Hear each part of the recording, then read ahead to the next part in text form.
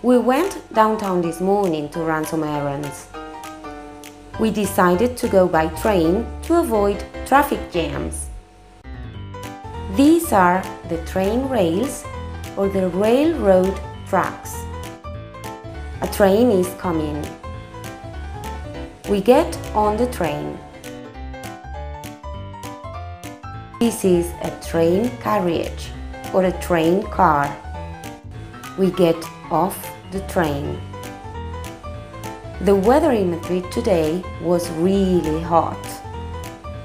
So the streets have been covered with awnings to protect people from the sun.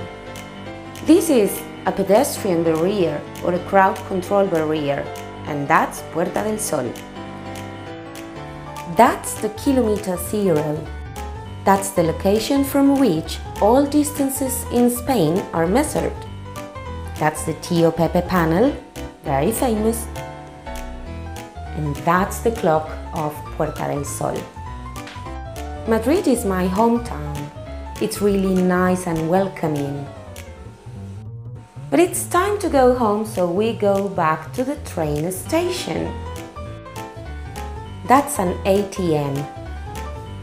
And this is the platform where we have to wait for the train to go back home. These are the turnstiles to get out of the station.